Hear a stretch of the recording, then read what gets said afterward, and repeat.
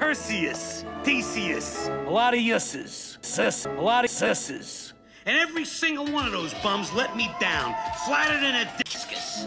None of them could go to discus.